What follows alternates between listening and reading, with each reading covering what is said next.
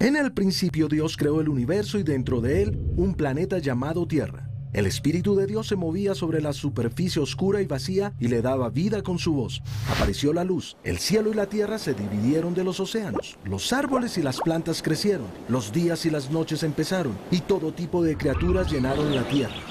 Los seres humanos fueron formados a la imagen de Dios para continuar su obra.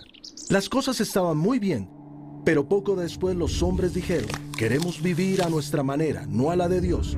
En su lucha por el control, el egoísmo y la violencia llenaron la tierra. Así que Dios empezó todo de nuevo solo con Noé y su familia. Algunas generaciones después, Dios hizo el siguiente pacto con un hombre llamado Abraham. La tierra que alcanzas a ver es ahora tuya. Tu familia será tan numerosa como las estrellas y será mi bendición para el mundo entero.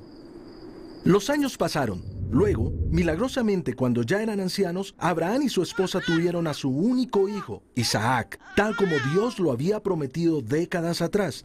Luego, Isaac tuvo gemelos, Jacob y Esaú. Jacob tuvo doce hijos. El menor, José, llevó a su familia a Egipto para salvarlos del hambre. Allí se convirtieron en una gran nación, un pueblo llamado a ser diferente para recordarle a todo el mundo lo que significa vivir en los caminos de Dios.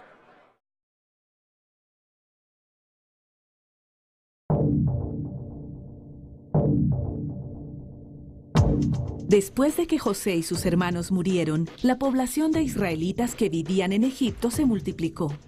Era una población tan grande que el nuevo faraón tenía miedo de que formaran un ejército en contra de Egipto, así que faraón volvió a los israelitas esclavos y los obligó a hacer ladrillos todos los días. Luego faraón fue un paso más allá. Emitió un decreto por el cual todos los varones hebreos recién nacidos debían ser asesinados. Poco después, una mujer israelita dio a luz a un niño. Como temía que lo mataran, lo colocó en una canasta que puso en el río Nilo.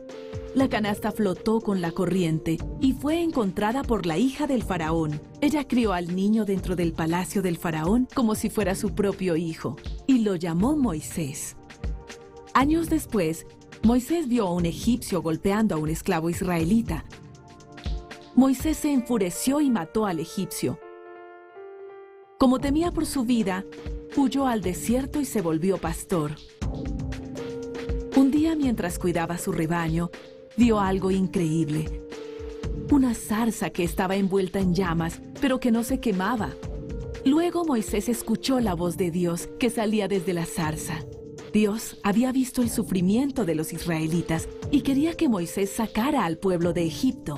Así que Moisés regresó a Egipto y se reunió con Faraón. Le pidió que les diera a los israelitas un descanso de su trabajo para hacer un festival para adorar a Dios. Faraón no solo se negó a conceder la petición, sino que hizo el trabajo de los israelitas todavía más difícil para castigarlos.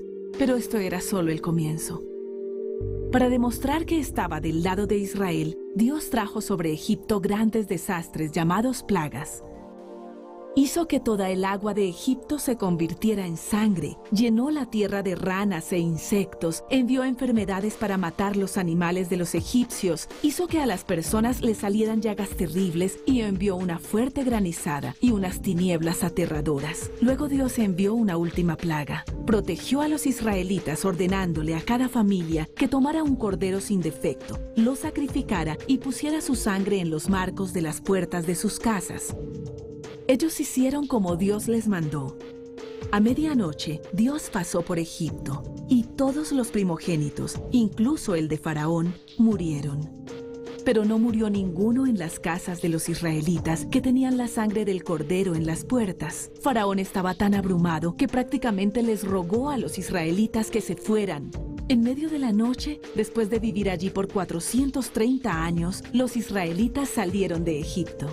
Sin embargo, una vez más, Faraón cambió de parecer y envió sus ejércitos a perseguir a los israelitas. Los persiguieron por kilómetros hasta que finalmente los acorralaron frente al Mar Rojo. Pero Dios le ordenó a Moisés golpear el agua con su vara. Al hacerlo, un fuerte viento sopló por el mar, creando una tierra seca por la que los israelitas pudieron pasar. Cuando llegaron al otro lado, Dios hizo que las aguas volvieran a juntarse y que todos los egipcios que seguían de cerca a los israelitas se ahogaran.